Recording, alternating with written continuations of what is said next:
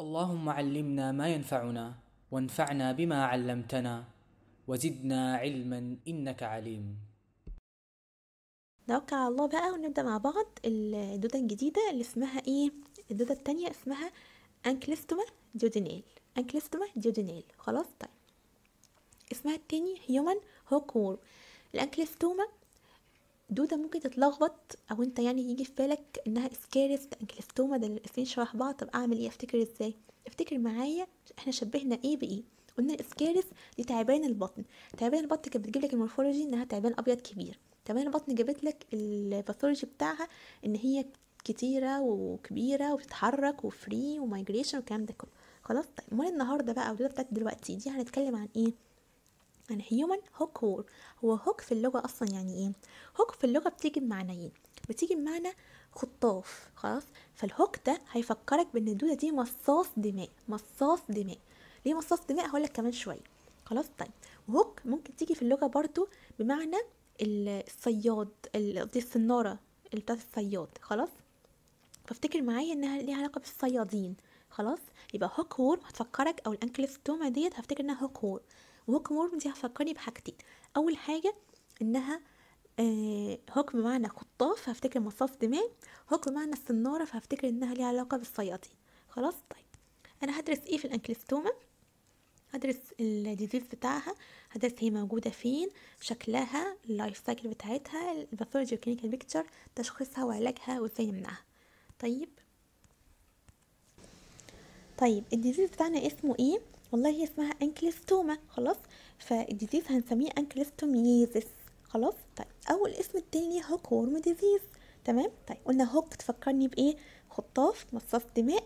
أو الاسم التاني إن هي صياد أو الصنارة فهي تفكرني بالصيادين خلاص؟ طيب موجودة فين؟ في ال tropical subtropical areas جميل ماشي. ال adult بتاعها. إحنا قلنا إن اسمها مصاص دماء صح؟ مصاص دماء. أنتوا لو ما أقول لكم مصاص دماء أقول لكم دراكولا. أول حاجة بتيجي في بالكم إيه؟ السنان صح؟ برافو عليكم. الأنياب بتاعت دراكولا دي. فعلا هي أكتر حاجة هنتكلم عليها النهارده هي السنان أو الأنياب دي. طيب بص معايا كده. والله أول حاجة ال male وال female بتوعها مش طوال قوي زي التعبان اللي فات. التعبان اللي فات كان 30 سنتي. لكن لا دي سمول شوية. خلاص طيب. بنوصل ال mouth بتاعها هنلاقي well developed double pair of teeth on each side أنياب. هي سبحان الله هي أنياب معنى الكلمة. زي ما أنتم شايفين كده في الصورة أنا جايبها لكم. خلاص؟ نابين كبار on each side خلاص؟ طيب. و smaller pair جوه شوية in depth of buccal cavity يبقى في نابين على الطرف وفي نابين جوه شوية خلاص؟ دي كل أسنانها. نابين على الطرف نابين جوه شوية خلاص؟ يبقى تاني. well developed يبقى ال mouth بتاعها mouth واضح كبير. هي فعلا دوده ببق كبير محترم. خلاص؟ امال ال mouth بتاع التعبان كان ال mouth بتاعها عبارة عن إيه؟ برافو عليكم التعبان كان 3 lips خلاص لكن دي أربع سنين. يبقى 3 lips هناك أربع سنين هنا. خلاص؟ طيب. آه نفتكرها إزاي؟ والله محدش هيتلخبط إن الدراكولا بأنياب. تمام؟ طيب. double pair of teeth on each side و smaller pair in depth of buccal capsule ماشي؟ أو buccal cavity جميل يا ولاد؟ طيب. هفرق إزاي ال male من ال female؟ آه والله بيقول لك ال male آخرته عاملة زي الزعانف بتاعت السمكة. قلت لكم افتكروا الصياد صح؟ هي ليها علاقة كبيرة قوي بالصياد والسمكة والكلام ده. أدي أول علاقة إن ال male آخرته عاملة زي الديل بتاع السمكة كده. خلاص؟ translucent caudal bursa caudal bursa و rib like rays وال copulation بص عليها هنا كده. بصوا كده.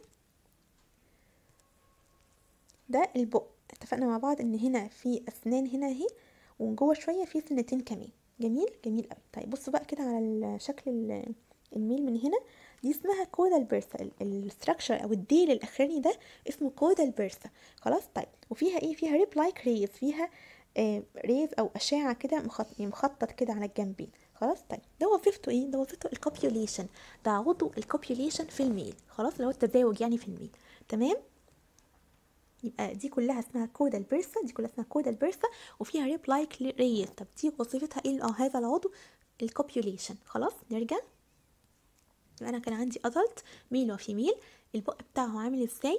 والله البق بتاعي well developed with pair of teeth. خلاص آه على الطرف وسمولر pair of teeth inside ال buccal capsule خلاص طيب. إيه أخبار ال male؟ آه يعني تميز إيه عن ال female؟ والله ال male بتاعنا عنده caudal bursa خلاص عنده زعنفة أو ديل زي ديل السمكة كده. خلاص طيب. وفي rib like rays. طيب ده موجود ليه أو ربنا خلقه في ال male ليه عشان ال copulation بصوا هنا كده.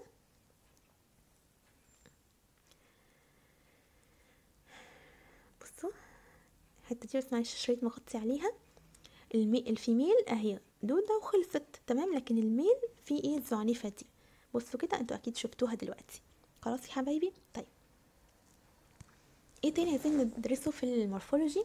الايج خلاص طيب. ال size بتاعها خمسين في خمسة وتلاتين مايكرو. جميل قوي طيب ال egg ليها rounded end تحس إن الايج ديت آه ال ال يعني هي مدورة كده كلها مدورة كده rounded end ماشي؟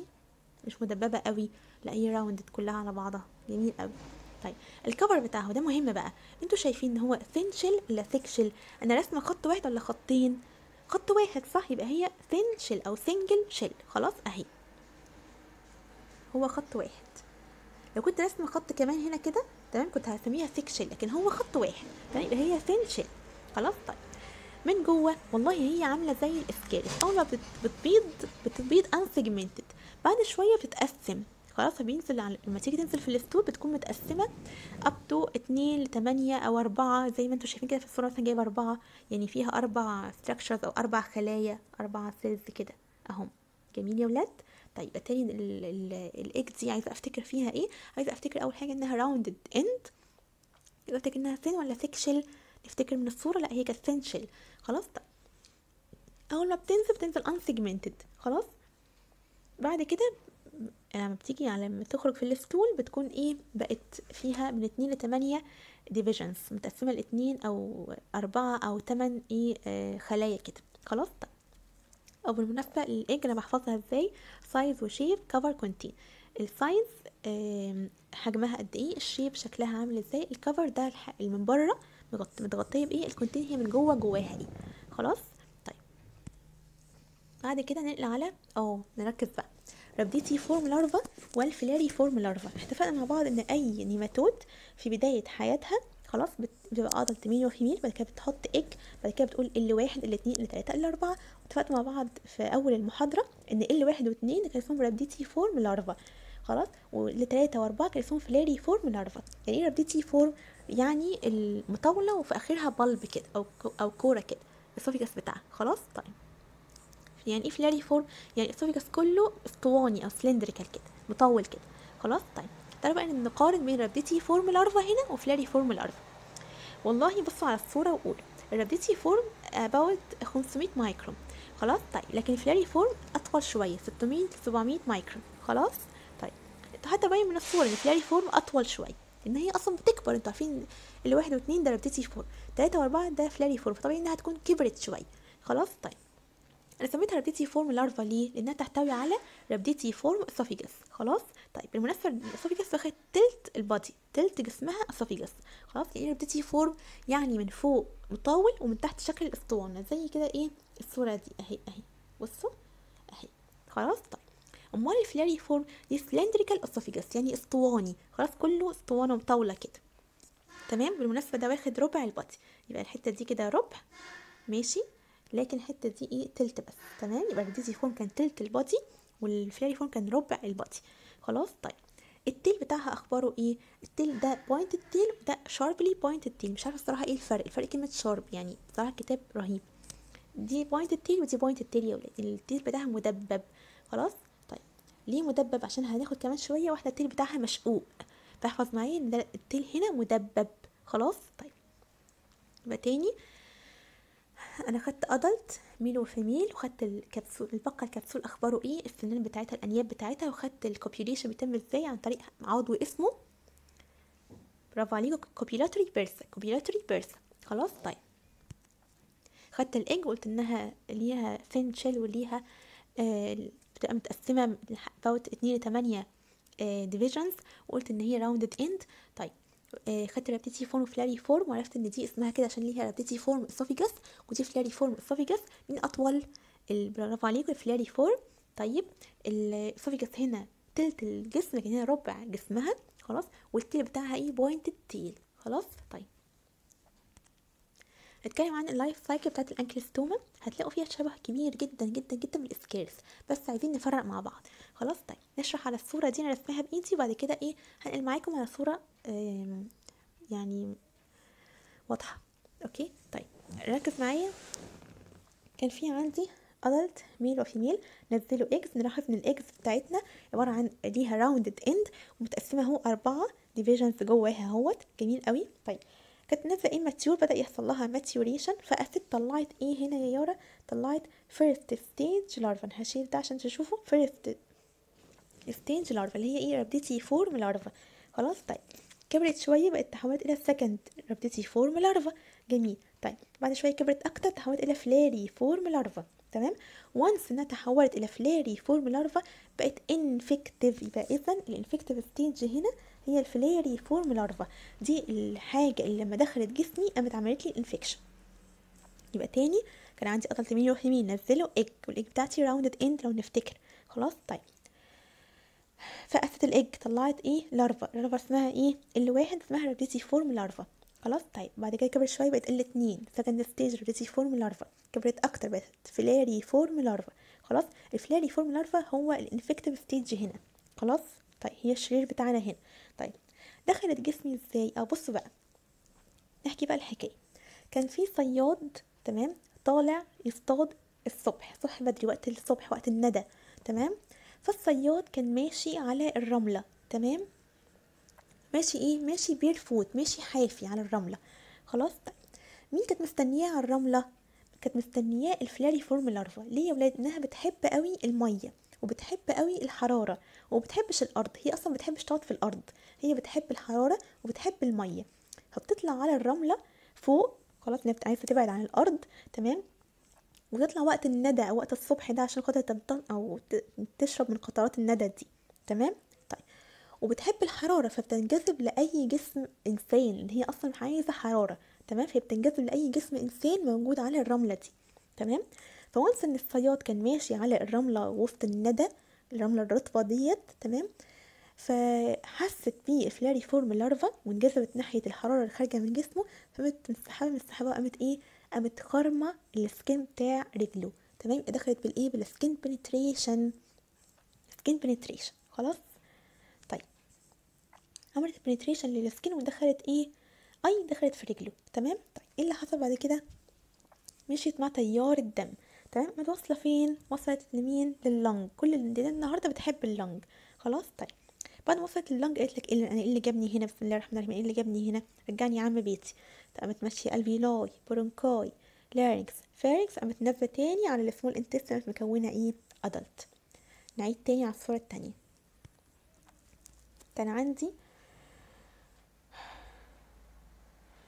بسم الله الرحمن الرحيم. كان عندي هنا adult male و female adult فين؟ في ال intestine adult male و female خلاص؟ نزلوا eggs ال eggs maturation خلاص؟ وإيه؟ وفقست. طلعت first stage rhabditiform larva ثم second stage rhabditiform larva ثم filariform larva ال filariform is إيه؟ infectious to human infectious خلاص؟ طيب. فضلت مستنية على الرملة. خلاص؟ هي بتحب إيه؟ بتحب المية. وبتحب إيه؟ بتحب الحرارة. بتكره إيه؟ بتكره الأرض. تمام؟ فبتطلع وقت إيه؟ وقت الندى وقت الصبح. خلاص؟ بتستنى على الرملة. يجي الصياد طالع يصطاد الصبح بدري. خلاص وقت إيه؟ وقت الندى الصبح ده. خلاص ماشي على الرملة وهو إيه؟ حافي barefoot. خلاص مين اللي كانت مستنية؟ ال filariform larva بتحب إيه الحرارة؟ انجذبت لحرارة جسمه. خلاص قامت ماشية ومتسحبة وقامت إيه؟ تك عملت skin penetration خلاص دخلت جوه الجسم وقامت ماشية في ال circulation خلاص أول ما وصلت وصلت لمين؟ لل lung خلاص بعد شوية قالت لك أنا إيه اللي جابني هنا؟ قامت طالعة أهوت. اهو alveoli bronchi larynx pharynx قامت نازلة نازلة نازلة قامت نازلة على إيه؟ على ال intestine تاني وقامت مكونة adult هناك وتوتة خلصت الحدوتة. خلاص؟ طيب. من القصة دي نطلع ال items. مين عندنا؟ ال host. عندنا host واحد بس العائل الأساسي والعائل الوحيد. هو مين؟ ال human. تمام؟ ال human بتاعنا هو ال definitive host هو ال only host. خلاص؟ ما نتكلمش عن أي كائن تاني.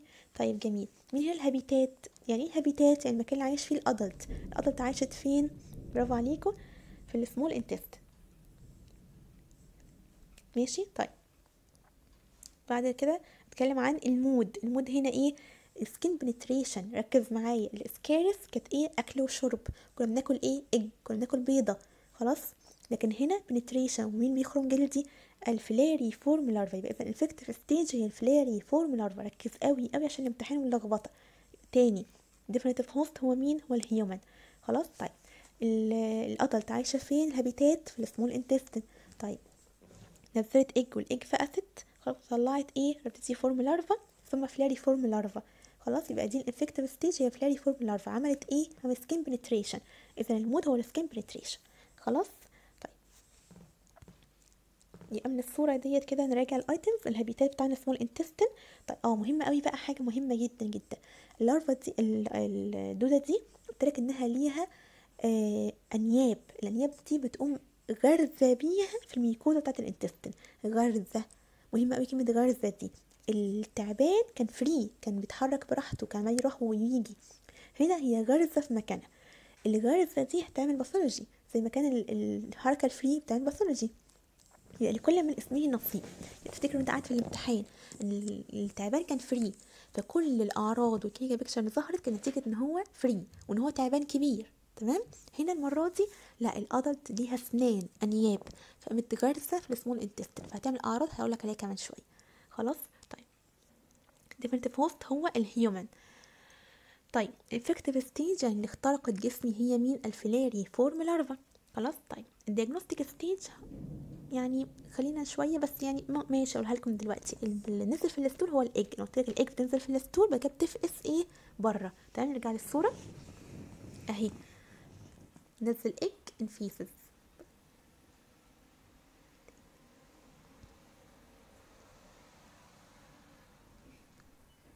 أهي. egg in feces. خلاص؟ فبتنزل egg في ال stool بعد كده الايج دي بتفقس بره على التربة وتتحول إلى rhabditiform filariform and so on خلاص؟ فال diagnostic stage هي ال egg in feces خلاص؟ طيب ال mode بتاعنا إيه؟ skin penetration افتكروا حكاية الصياد كان ماشي على الايه على الرملة. خلاص؟ طيب. دي إيه يا ولاد؟ دي إيه؟ بصوا كده بصوا شكل ال bulb ده. برافو عليك. دي rhabditiform larva اللي هي كانت شكلها عامل إزاي؟ والله هي كانت 500 مايكرون. شكل ال oesophagus بتاعها كان rhabditiform يعني إيه؟ يعني من فوق cylindrical ومن تحت bulb. خلاص؟ طيب. ربع ال body آه يا ربي تلت ال body خلاص. ليها pointed tail طيب تحولت بعد شوية إلى filariform larva اللي هو إيه؟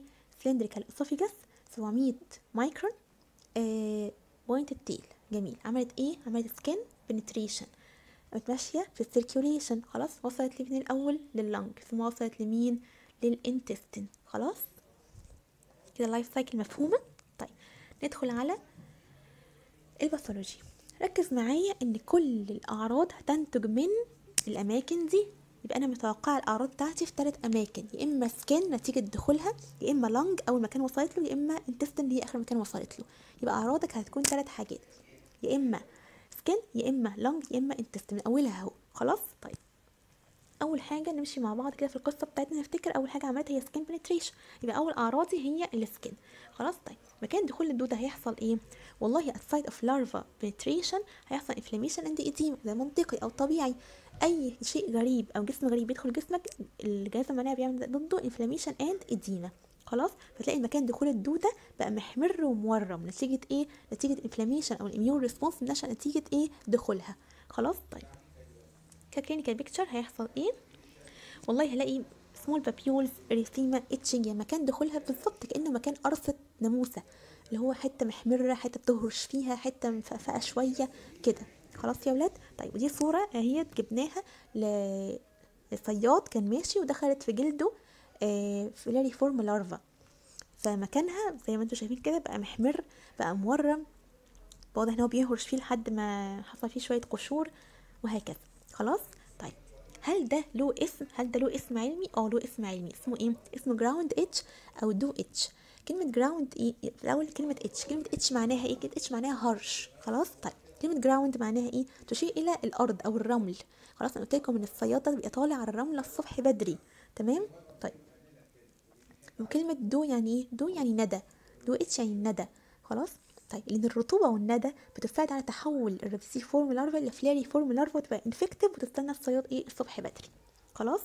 يبقى تاني اسمها إيه؟ اسمها ground itch أو dew itch itch هتفكرني بالأعراض اللي هي إيه؟ ال itching وال erythema وال papules والكلام ده كله. بالمناسبه ال erythema يعني احمرار papules معناها آه زي حبوبات صغيرة كده محبب كده مكان القرصة أو مكان دخولها. خلاص؟ طيب. itching يعني هرش. خلاص؟ طيب. ground معناها إيه؟ رمل أو أرض. تمام؟ dew يعني إيه؟ يعني الندى. خلاص؟ ونفتكر مع بعض إن الندى أو الرطوبة اللي بتساعد عن تحول ال rhabditiform إلى filariform larva طيب. بعد كده قامت داخلة من ال skin وقامت ماشية مع تيار الدم وقامت وصلت لأول مكان هو إيه؟ ال lung خلاص؟ طيب. مين شاطر يقول لي أعراض ال lung برافو عليكم. هي نفس الأعراض اللي حصلت في الإسكيرس. تمام؟ برضو. larva migration خلاص؟ فهيحصل immune response against هذه ال larva خلاص؟ فيحصل إيه؟ جهاز المناعة كله أو خلايا المناعة كلها هتيجي تهاجم المكان ده خلاص؟ طبعا ال eosinophilia هتعلى جدا ال eosinophils هتعلى جدا وال leukocytes كلها هتعلى جدا خلاص؟ ممكن كمان يحصل minute pulmonary hemorrhage خلاص؟ نتيجة الايه هجوم جهاز المناعة على ال larva دي خلاص؟ طيب الأعراض هتظهر في صورة إيه؟ والله bronchitis أو pneumonia bronchitis يعني إيه؟ التهاب شعب هوائية. pneumonia يعني إيه؟ التهاب اللي وصل لل lung tissues أو ال alveoli نفسها. خلاص؟ يعني القصبة الشعبيه ماشي؟ فهتلاقي العيان برضو كحه كحة وصدره بيزيق ومش قادر ياخد نفسه نهجان والكلام ده كله. نفس الأعراض بالظبط أنت لو كتبت في الامتحان الأعراض اللي أنت حافظها في الإسكارس نفسها في ال Ancylostoma محدش يقدر يقول لك ولا كلمه غلط. تمام؟ نفس الأعراض بالظبط. خلاص؟ طيب. كل ده نتيجة إيه؟ مش نتيجة ال larva قد ما نتيجة immune response نشأ ضد هذه ال larva. خلاص؟ طيب ناخد بالنا اللي بتمشى في ال lung هي ال larva ال filariform larva. خلاص؟ طيب إيه تاني عايز أخد بالي منه؟ الاسم العلمي. والله أنا اتفقت معاكم إن هي اسمها Loeffler syndrome صح؟ الكتاب بتاعنا كتب لها اسم جديد سماها verminous pneumonia verminous pneumonia هي هي Loeffler syndrome. سواء قالك في الامتحان verminous pneumonia أو سواء قالك Loeffler syndrome الاتنين بمعنى واحد اللي هو إيه؟ ال immune response نشا نتيجة وجود larva في في في ال lung وجهاز المناعة اللي هاجمها وال eosinophilia اللي عليت والأعراض اللي هي كحة وال والأزمة وال dyspnea والحاجات دي كلها. خلاص الموضوع مفهوم وسهل. طيب. بعد شوية وصلت لفين؟ لل intestine. خلاص طيب تعالوا نشوف هتعمل إيه في ال intestine. والله قلت لكم إن هي هتكون غرزة غرزة بأنيابها أو بسنانها خلاص فين؟ في ال mucosa of small intestine فده هيعمل إيه؟ مكان الغرزة دي هيحصل ulcer. خلاص هيحصل erosions و ulceration في ال small intestine خلاص؟ up to إنها بتعمل ulcer في مكان بعد كده بتسيبه وقمت رايحة مكان تاني. فالموضوع فعلا مرعب. هي فعلا مصاص دماء يا ولاد. بتغرز أنيابها في ال small intestine بتنشب فعلا أنيابها فيك. خلاص؟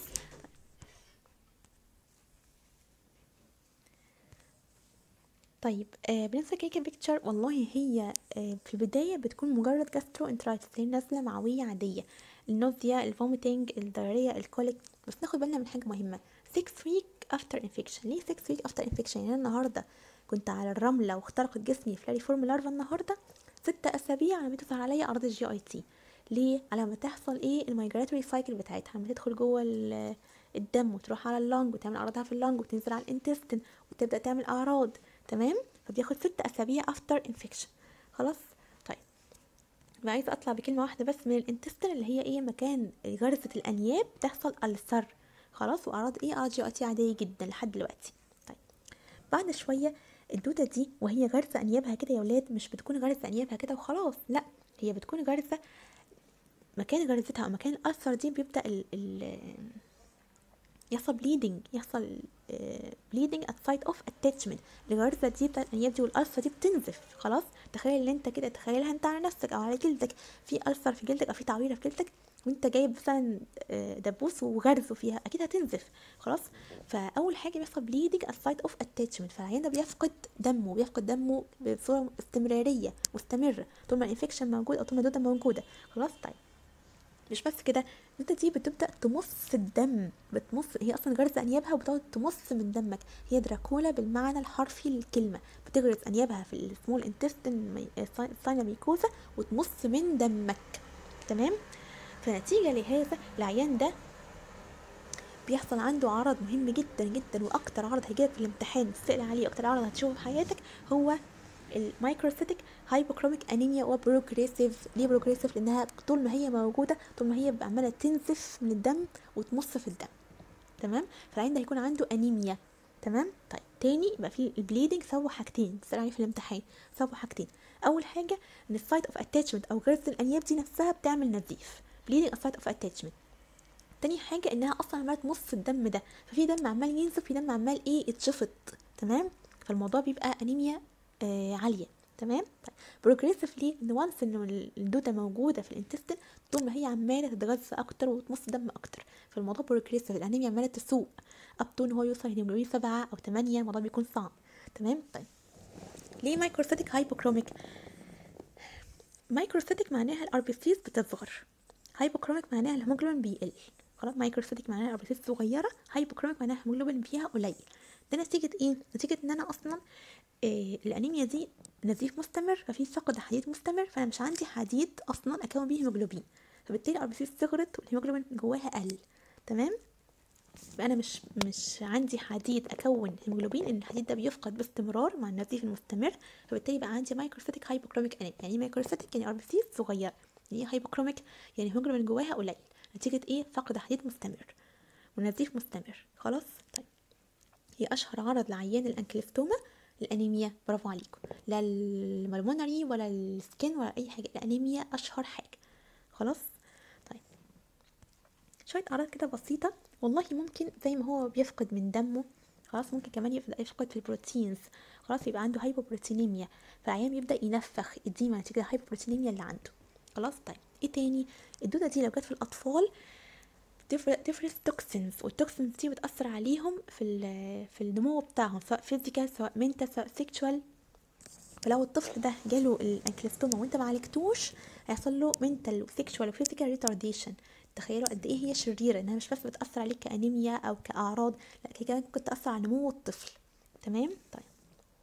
والله في ال infection في بدايته بيكون ال eosinophilia عالية جدا نتيجة طبعا إن هي عمالة تلف في الدم وجهاز المناعة شايفها وفي immune response والكلام ده كله.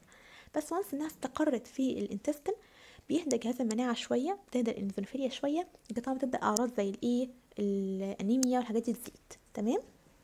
ال eosinophilia برضو أعلى في إيه في ال early infection ده برضو قلنا في الاسكاريس قلنا ال Ascaris ال pulmonary بتكون أعلى طبعا من الاسكاريس اللي هي إيه intestinal ماشي؟ ال eosinophilia في ال intestinal يعني. ماشي؟ طيب. نجمع الأعراض تاني.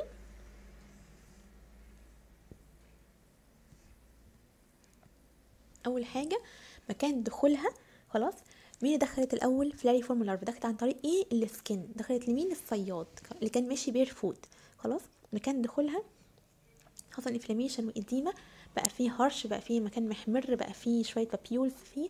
فده سميته إيه؟ ground itch أو dew itch خلاص. طيب. ده شوية قامت رايحة ال lung قامت عاملة فيها ال Loeffler syndrome بكل أعراض ال Loeffler syndrome اسمها التاني إيه؟ verminous pneumonia verminous pneumonia خلاص. طيب. شوية قامت رايحه على ال intestine. عملت إيه في ال intestine؟ عملت erosion ulceration نتيجة إيه؟ غرزة الأنياب في ال mucosa of small intestine يبقى التعبان كان بيتحرك براحته فكان بيروح ويجي ويعمل أعراض ال migration هنا الدراكولا ناشب بأنيابه أو غرز بأنيابه في ال small intestine فعامل لك إيه؟ عامل لك الأنيميا وعامل لك ال bleeding المستمر. خلاص طيب. لحد فترة يعني بسيطة من ال infection ست اسابيع ده اعراض ال GIT العادية. بعد شوية بيبدأ إيه؟ اعراض الأنيميا تظهر. طيب bleeding سببه إيه؟ حاجتين. أول حاجة bleeding site of attachment تاني حاجة continuous أو ال feeding of the worm أمراض sucking اللي هي عمالة تمص الدم. خلاص؟ طيب. فأهم عرض بيجي ان هو إيه؟ microcytic hypochromic anemia و progressive خلاص عمالة تزيد بالوقت. ماشي؟ طيب. آه في hypoproteinemia آه فالعيان بينفخ. في retardation physical و mental و sexual وال eosinophilia بتكون أعلى. في الأول بعد كده بتبدا إيه؟ تهدى. تمام؟ هنشخص إزاي والله أول حاجة هتيجي في بالي هي ال stool examination هلاقي فيها إيه؟ eggs برافو عليك يبقى اذا ال diagnostic stage هنا. مش كاتباها. طيب. ال diagnostic stage في ال في ال Ancylostoma هي ال eggs إن أنا هي دي اللي بتنزل في ال stool خلاص؟ طيب. في بقى إيه؟ آه حاجة جديدة كده اسمها Harada Mori culture يعني مزرعة بعملها عشان خاطر إيه؟ عشان خاطر أتعرف على الفصائل المختلفة من ال Ancylostoma يعني ال Ancylostoma دي ليها فصائل أو أنواع مختلفة. فأنا عايزة أتفرج عليهم. تمام؟ فهعمل إيه؟ ركزوا معايا في الرسمة. والله دي test tube تمام؟ آه، فيها شوية مية من تحت. خلاص؟ دي filter paper الأبيض دي filter paper. ودي شوية stool أنا حطاهم على ال filter paper. خلاص؟ طيب. تلاحظوا إن أنا حاطة ال filter paper يعني لامسه المية من ناحية واحدة بس صح؟ الناحية التانية مش لامسه المية. خلاص؟ طيب. إيه اللي هيحصل؟ قلت لكم إن البيض ده أو الدودة دي بتحب إيه؟ بتحب المية. ف once إن هي شافت المية البيض ده هيفقس. يبقى ال stool كان يحتوي على بيض بتاع ال Ancylostoma once إن أنا حطيته في المية فالبيض ده إيه؟ فقس. لما فقس طلع منه إيه؟ ال larva بتاعت ال Ancylostoma وطلع منها ال larva المختلفة بأشكال مختلفة. حطها بقى قدامك واتفرج عليها وفرق براحتك بين الأنواع والفصائل. يا سلام ولا أحلى من كده. نقرا بقى كده. طيب. ال Harada Mori culture دي more sensitive than stool و differentiate بين hookworm species هي أحسن من ال stool examination تقدر تفرق بين ال species المختلفة أو الفصائل المختلفة من ال hookworm خلاص؟ طيب. ال larva collected from the eggs.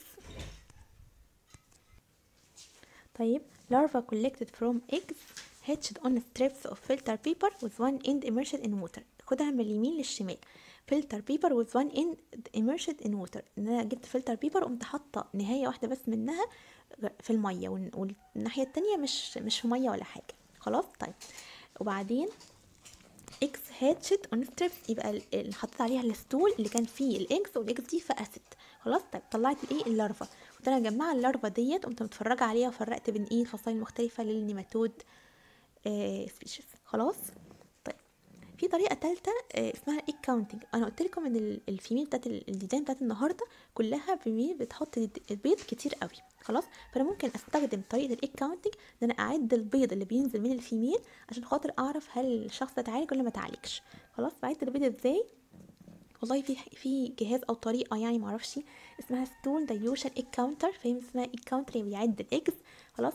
في طريقة تانية اسمها Kato smear method الطرق ديت أنا بتفيدني في إيه؟ إن أنا مثلا لو اديت العيان علاج خلاص وعايزة أشوف العلاج ده جاب نتيجة ولا ما جابش فأقوم عدى ال eggs قبل العلاج مثلا تطلع معايا ألف egg okay؟ أدي بعدين أدي العلاج بعد كده أقوم عدى ال eggs بعد العلاج فلاقيها مثلا قلت خالص مثلا 100 100 اجايه ولا حاجة.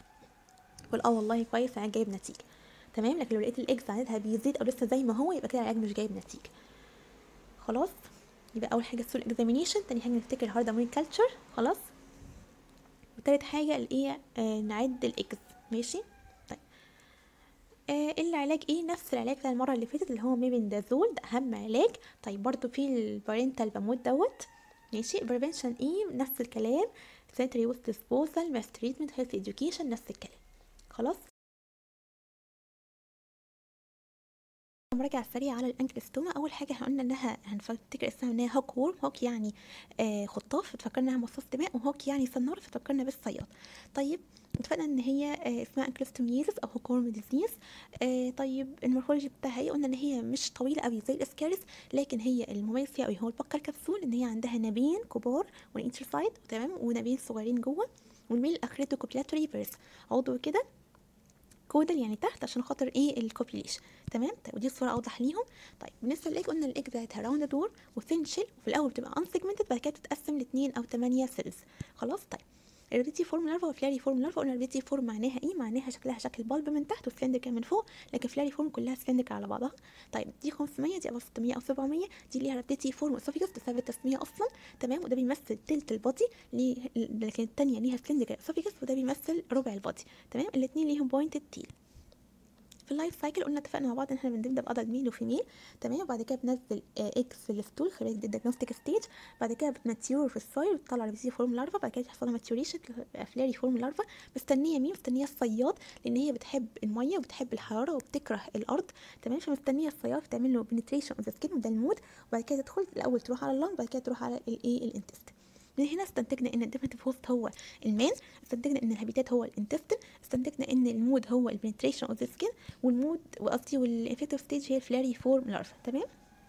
وال diagnostic stage هي ال egg اللي نزلت في ال stool. بما إن التأثير كان على ال skin وعلى ال lung وعلى ال intestine فدي الأعراض. تمام؟ أول حاجة في ال skin مكان دخولها يبقى فيه هرش وشوية papules وشوية آه itching تمام؟ نتيجة ال inflammation اللي حصل مكان دخولها وده هنسميه ground itch أو dew itch ground يعني أرض dew يعني ندى و itch يعني هرش. تمام طيب في ال lung نفس الاعراض بالظبط نفس السبب إن هو آه، هجوم جهاز المناعة على ال larva وده سميناه هنا verminous pneumonia وهي نفسها نفس ال Loeffler syndrome. طيب بعد كده اثرنا على ال intestine وقلنا ال intestine دي مش سبب التأثير عليها إنها غرزه بانيابها في ال small intestine ال Ascaris كانت بتتحرك و free لكن دي دلوقتي غرزه بانيابها فعاملة ulcer تمام؟ الأعراض إيه؟ nausea vomiting diarrhea colic بعد ست أسابيع على ما تعمل إيه؟ على ما تعمل رحلتها وترجع. خلاص طيب أهم عرض هنا هو الأنيميا تمام؟ طب إيه سبب الأنيميا؟ إن هو عمال يفقد دم من ناحيتين من ناحية إن هو في bleeding من ال site of attachment ومن ناحية إن هي عمالة تمص في الدم تمام؟ طيب progressive microcytic hypochromic anemia وشرحنا الاسم. طيب في برضه بيفقد شوية بروتين فبينفخ آه، بالنسبة لل children بيبقى في تأثير عليهم من ال toxins physical و mental sexual وطبعا ال eosinophilia تبقى اعلى إيه؟ early عشان الايه pulmonary بيبقى ال immune system شايفها لكن لما تروح ال intestine الموضوع بيهدى شوية. هنشخص إزاي أول حاجة finding egg egg in stool نركز على كلمة ايج تمام؟ ال Harada-Mori culture دي هنعمل إيه؟ هنجيب شوية آه مية في إزاز أو في أنبوبة كده ونحط فيه filter paper وعليه عينه من ال stool فلما تحط في المية الايج دي هتفقس وهتطلع ال larva ونبص بقى على ال larva ونفرقها من بعض. تمام؟ في طريقة اسمها egg counting وده بستفيد فيها إن أنا آه، أعد البيض قبل العلاج وبعد العلاج وأشوف هل العلاج أثر ولا ما أثرش. خلاص؟ آخر حاجة علاج إيه من دازول تمام؟ طيب نحل بقى الأسئلة؟ انهي stage of Ancylostoma has copulatory bursa قلنا copulatory bursa ده عضو للإيه؟ للتزاوج. فطبيعي هيكون عند مين؟ عند مين؟ ال male ولا ال female ولا ال egg برافو عليكم ال male. حتى كان في rib like rays طيب. eggs of Ancylostoma in fresh stool is آه ال fresh stool إحنا قلنا إن هي كانت بتنزل unsegmented.